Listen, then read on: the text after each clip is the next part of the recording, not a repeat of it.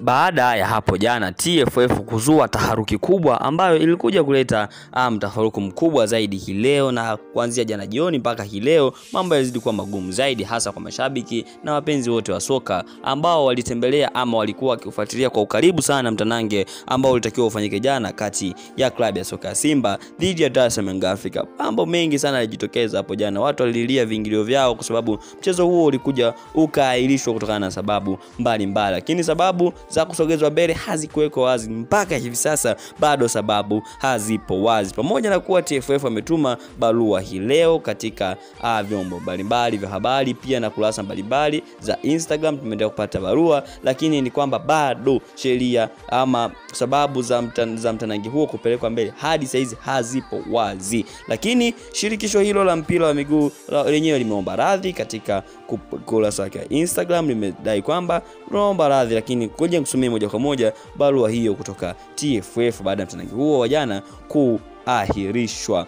Tanzania Football Federation, taarifa Shirikisho la mpira wa miguu Tanzania TFF limesikitishwa na kilichotokea na kusababisha mechi ya ligi kuu ya Vodacom VPL kati ya Simba SC dhidi ya Yanga SC iliyokuwa ifanyike jana iahirishwe. TFF inapenda kuomba radhi kwa wadau wote waliolipa viingilio kuingia uwanjani, walikuwa wakisubiri kuangalia kwenye televisheni, kusikiliza redioni na watoa huduma mbalimbali. Kwa hali hiyo, TFF imetoa maelekezo kwa bodi ya ligi kuu Tanzania TPLB kutoa taarifa ya kina kuhusu kuahirishwa kwa mchezo huo pamoja na kushughulikia hatima ya wapenzi wa mpira wa miguu wanaolipa viingilio kuingia uwanjani. Tunawaomba wapenzi wa mpira wa miguu kuwa watulivu wa wakati jambo hili linashughulikiwa kwa haraka kwa utaratibu za kanuni, lakini huku tukishirikiana kwa karibu na wadau wote ikiwemo serikali. TFF imekuwa ikishirikiana na serikali kama mdau wake mkuu na itaendelea kushirikiana nayo na kuhakikisha kwamba mechi zote za mpira wa miguu zinafanyika kwa amani na usalama. Pamoja na jambo hili kuendelea kushughulikiwa kikanuni kama tulivyopendekeza bodi ya ligi, TFF inaendelea kufanya vikao mbalimbali na vyombo vya serikali kuhusu tukio hilo. Pia itakutana haraka na klabu hizo Simba na Yanga. Imetolewa na afisa habari wa mawasiliano TFF Clifford Mario Ndimbo, rais wa Liskaria, na hapo chini wameweka KCB Bank, Serengeti, Vodacom pamoja na Azam TV.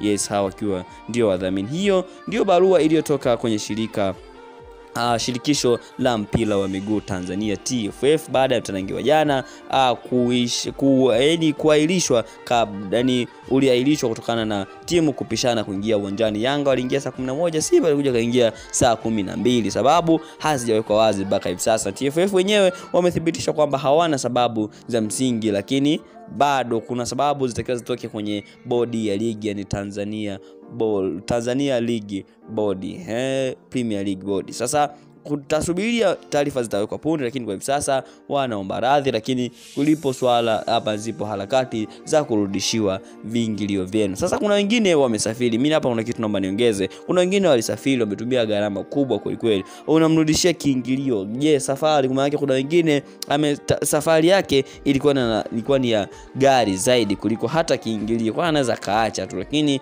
ninachoomba tunakuwashauri shirikisho hilo la mpira wa miguu Tanzania waweze kuwa makini mara zote lisije likatokea jambo kama hili, kwa sababu linatia sana hasara pamoja na hasira mashabiki wa soka. Sisi tukiwa kama wadau wa soka tumekumbwa na kadhiba hiyo, maanake kuna wengine walikuwa wanasubiri kuangalia kwenye televisheni, redio, wengine walikuwa live katika uwanja wa Benjamin Mkapa. Sasa unasema utawalipa, utawalipa wangapi? Yes, kuna wengine walishaondoka shazira, mtu ametoa elfu saba lakini anakaa mbali, nauli yake ni kama shilingi elfu thelathini hawezi toka, hawezi kutumia tena nauli elfu sitini ama elfu thelathini hiyo hiyo ili aje kuchukua shilingi elfu saba maanake ataiacha tu. Je, hiyo ataitumia nani? Maanake unakuwa kama ni uwizi fulani hivi umefanyika kwa kisia, kwa kisiasa ama kisanii hivi. Kwa hiyo hiyo ndio shirikisho la mpira wa miguu Tanzania TFF. Taarifa hiyo inaomba radhi na kuwataka wadau wote wa soka kuwa watulivu kwa kipindi hichi kifupi ambacho wao wanaendelea kushughulikia na mambo yote yatakuwa burdan ama bulbul hivi soon, hivi punde tu mambo yote yatakuwa freshi ama shwari kabisa. Je, wewe unasema nini? Kama unakubali na msamaha huo, lakini bado